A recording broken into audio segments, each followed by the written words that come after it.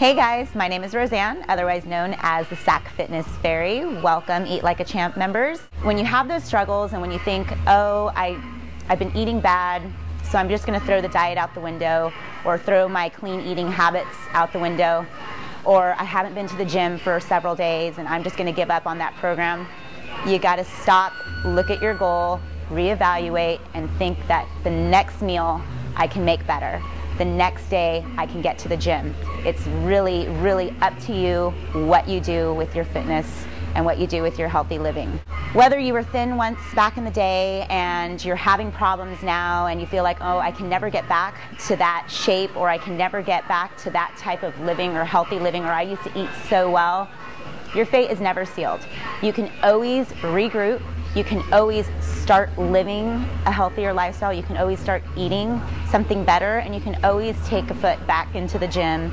Start one day at a time. When I think back and I think of a time when I was struggling with my fitness and when I was struggling with eating right, I have to go back to when I was was balancing my my uh, my child's schedule and then my schedule. I put my healthy eating and my healthy lifestyle on the back burner in order to accommodate um, a schedule of just like everybody out there. I'm sure a lot of you out there have trying to juggle family and time and work because believe it or not, when you actually live a healthier lifestyle and you get that fitness in, you get the energy, you have positive energy, and it helps you get through stressful and harder times.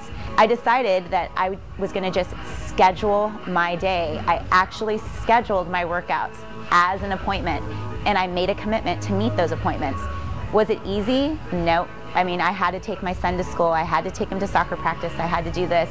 But once I made a commitment to get back on track, actually looking at a physical goal on my calendar, it made it it made it made me more accountable with eat like a champ and making those choices to get into the gym or to do to uh, do a workout that'll help you physically get in shape and your body will feel good and you'll be eating better you'll have more energy. Or please send me an email sacfitnessfairy at gmail.com i'd love to hear from you um, if you have any questions or if there's any way that i can help you with your fitness goals please let me know so if you're going to go to the gym and you're going to decide to um, get up off the couch and make a commitment to a healthy and fit lifestyle, here's a little tip. You can go ahead and give yourself a one minute test. Um, give yourself a one minute test with push ups, maybe pull ups, sit ups, um, step ups, um, whatever you can think of. Get about five or six exercises. Test yourself. Do it for one minute. Go as hard as you can. Don't worry, if you only get one, that's fine. And then in three weeks, test yourself again. You'll be amazed. You might be doing five or 10 more of each of those exercises. And that's a little bit of encouragement because if you started today with only one pull up and in three weeks you have 10 or six in your belt, you're gonna feel fantastic.